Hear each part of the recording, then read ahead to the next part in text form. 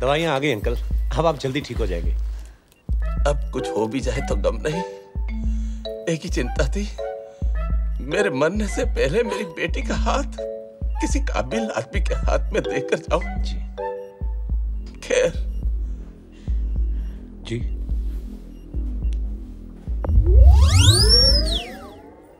इसका ख्याल रखना। हैं जी। Hello uncle. भाई साहब हेलो पापा जी। ये अब कुछ नहीं बोलेंगे। मेरी सुन तो सकते हैं ना? हेलो पापा जी। I am sorry he is no more अरे ऐसे कैसे मर सकते हैं? No. अभी तो अभी तो ज़िंदा थे। no. पापा पापा पापा नो बहुत ही भाग्यशाली थे जो बेटी का कन्यादान करके गए। कन्यादान? किसका कन्यादान? हाँ बेटा तुमने एक मरते हुए इंसान की अंतिम इच्छा पूरी की है। मैंने नहीं किया कुछ। देखो कैसे हँसते हँसते निकल लिए तुम बहुत महान हो बेटा। ये लो शगुन। अरे भाई आप लोग भी आकर शगुन दे दो।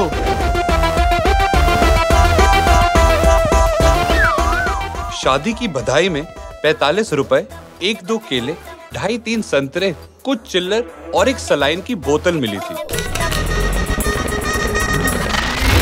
कहते हैं, दूध का जला छाछ भी फूक फूक के पीता है। लेकिन आदमी का वक्त बुरा हो तो आइसक्रीम से भी मुँह जल जाता है। और हमारे कुमार शिवराम किशन को तो शादी की आइसक्रीम खाने का शुरू से ही शौक है। फिर पहुँच गए अपने दोस्त बल्लू की शादी में। ये कितना दे देती है भाई साल में? मतलब? नहीं, मेरा मतलब एक सीज़न में कितनी शादी निपटा देती है? अरे साहब, बहुत लकी घोड़ी है। जो हाथ रख देता है, उसकी शादी करा देती है। इस घोड़ी का नाम है ले भागो घोड़ी। नहीं भाई मेरी शादी नहीं करवानी मेरे दोस्त भल्लू की करवानी है। अच्छा अच्छा कोई बात नहीं। हमेशा कहता था मैं कनाडा जाके सेटल हो जाऊँगा पर बेचारे के पास पैसे नहीं थे। फिर मैंने समझाया मैंने कहा भाई शादी करके यहाँ सेटल हो अपनों के बीच में रहेगा। आज देखो उसकी शादी हो रही कुमार कुमार। क्या हुआ जोजो भाई?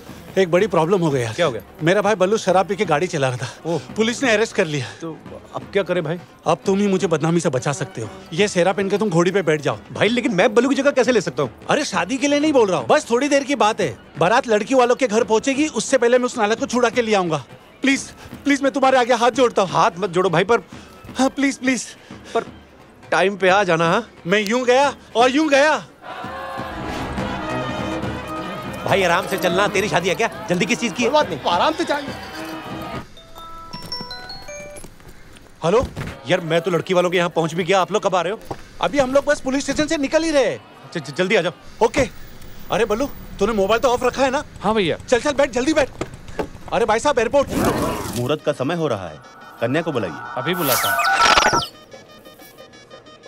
हे भगवान ये तो फेरे शुरू करने वाले हैं।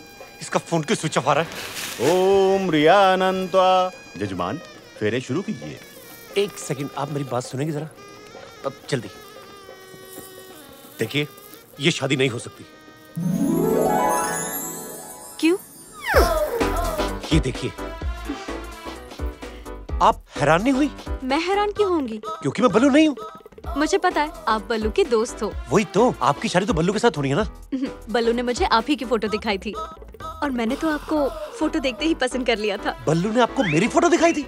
हाँ और आपके बिज़नेस के लिए जो पचास लाख रुपए चाहिए थे वो हमें ने भिजवाए थे। पचास लाख? हाँ।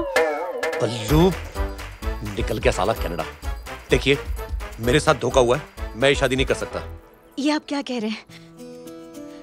सारे मेहमान आ चुके हैं। तो इन्हीं में से कोई ढूंढ के आप प्लीज़ कर लीजिए लेकिन मैं तो नहीं कर सकता हूँ। देखिए मेरे साथ ऑलरेडी एक हादसा हो चुका है। हादसा तो मेरी ज़िंदगी में हुआ है। मैं एक मॉडल हूँ। रंग पे चलते हुए accidentally all my clothes came off उसकी वजह से इतनी बदनामी हुई है कि मेरी तीन शादियाँ ऑलरेडी टूट चुकी है। अब आप प्लीज़ ऐसा नहीं कहिए। अगर आपने मुझसे शादी नहीं की तो मैं इसी हवन में कूद के दे दूँगी। देखिए मैं आपकी प्रॉब्लम समझता हूँ। आप मेरी भी प्रॉब्लम समझिए।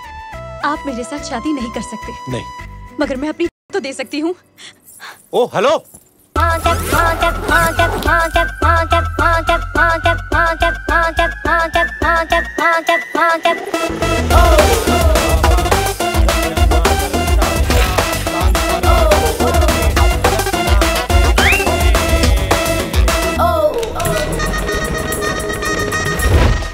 कर भला तो हो बुरा।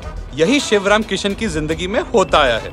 लेकिन उसके बाद भी कहाँ सुधरने वाला था ये? अब तक खुद आगे बढ़कर दूसरों की मदद करता था। इस बार सामने से कोई मदद मांगने आ गया। तो क्या करता बेचारा? Help help please help me वो मेरे पीछे गुंडे पड़े हैं। अरे ऐसे कैसे पड़े? शहर में कानून नाम की कोई चीज़ है कि नहीं? चलिए मैं देखता हूँ। दस पंद्रह है। दस पंद्रह? पीछे बढ़िए आप जल्दी। चल चल पीछे कर। हाँ चलो। हेलो हेलो अनिल मैं अपनी शादी छोड़कर भाग आई हूँ। तुम्हें किसने बोला था भागने के लिए? क्योंकि वो लोग मेरी शादी कहीं और करवा रहे थे। तुम्हारी शादी कहीं भी हो मुझे कोई फ़र्क नहीं पड़ता। ये क्या कह रहे हो तुम अनिल? कल तक तो तुम मुझसे इतना प्यार करते थे। क्योंकि कल तक मुझे ये नहीं पता था ना कि तुम एक डॉन की बहन हो। So please it's over Anil Anil please ऐसा मत करो। तुमने मेरा साथ नहीं दिया। तो कहाँ जाऊँगी मैं? Just go to hell hello hello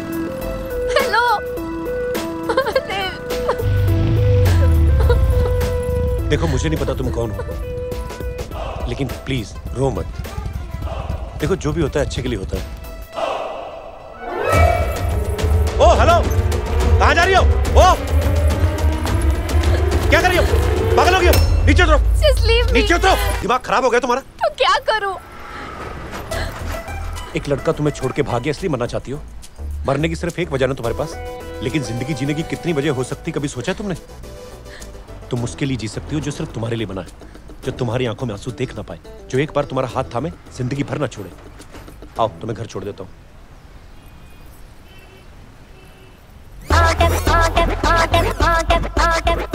चलो। अब किस मुँह से जाऊँगी मैं?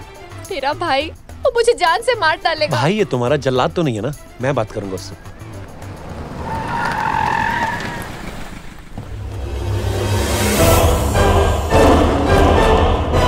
टाइगर भाई भैया ये तुम्हारे भाई हैं हाँ ये हैं टाइगर भाई इस शहर के मशहूर डॉन सारा शहर इनके नाम से कांपता है ये एक ही चीज़ से नफरत करते हैं वो है दहेज ये दहेज मांगने वालों से दुगना वसूल करते हैं प्लीज़ आप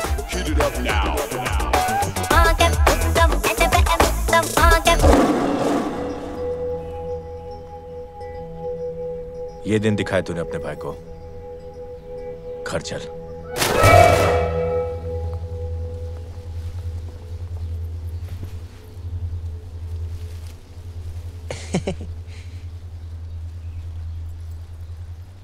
इस शहर में लोग मुझसे डर कर भागते हैं। लेकिन तू भाग गई तो मैं डर गया। मेरा गुस्सा तेरी खुशी से बढ़कर है क्या? वही होगा जो तू चाहेगी। बिल्कुल सर। मैं भी इसको इनको यही समझा रहा था कि भाई कभी बहन का बुरा थोड़ी ना चाहेगा सर। और आप तो रिश्ते में भाई हैं और वैसे भी भाई हैं। अंजलि तुम्हें अपने पसंद के लड़के के साथ भागने की नहीं घर बसाने की ज़रूरत है। हाँ। मुझे ये लड़का पसंद है। क्या?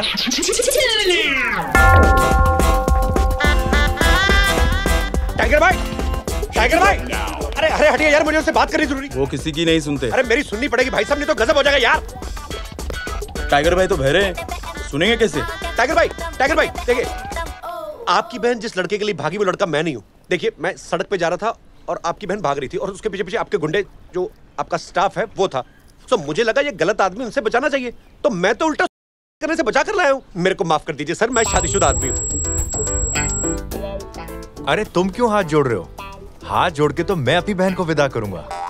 सर आप समझे नहीं मेरे घर में ऑलरेडी दो बीवियाँ बैठी हुई है सर। हाँ हाँ इसी मंडप में तुम्हारी शादी होगी। जितनी जल्दी तुम्हें है उतनी जल्दी मुझे भी है। देखिए देखिए सर मैं कुछ और बोल रहा हूँ आप कुछ और समझ रहे हैं। मेरा आपकी बहन के साथ कोई लेना देना नहीं है सर। आप दहेज नहीं लोगे? कितनी अच्छी बात है। दहेज के खिलाफ तो मैं भी हूँ। लेकिन एक बात याद रखना। मेरी बहन को किसी भी चीज़ की कमी नहीं होनी चाहिए क्योंकि इस घर में बहन एक है और बंदूक है बहुत। पंडित जी शुरू करो।